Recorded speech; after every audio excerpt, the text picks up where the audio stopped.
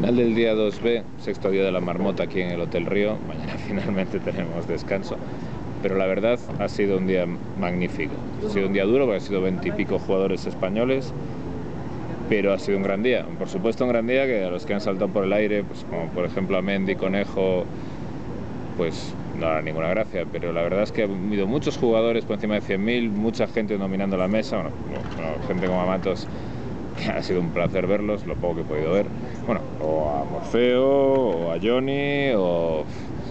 luego también ha habido, por supuesto, gente que ha tenido que currar por cada punto, como Revenido, como Ventura.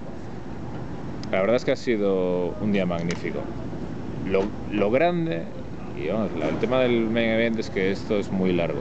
Sigue siendo día 2 y aunque digas, uy, qué guay, pues dos, tres veces la media, queda la de Dios de vallas por, por saltar. Si en cualquier torneo normal una persona tiene que hacer dos pirulas como reventar ases con algo, pues aquí son 14.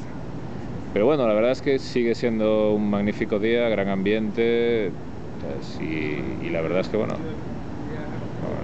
ojalá sea una gran premonición de que mañana la, ganamos, la, ganamos el mundial.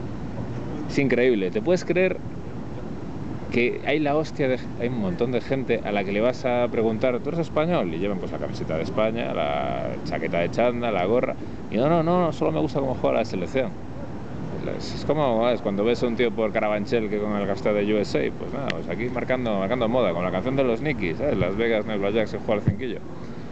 En fin, mañana, por la mañana partido, aquí el partido es a las 11 de la mañana, plan luego salgo de piscinita, luego iremos a la fiesta de Party Poker, que toca Snoop Doggy Dogg o uno de estos raperos tal.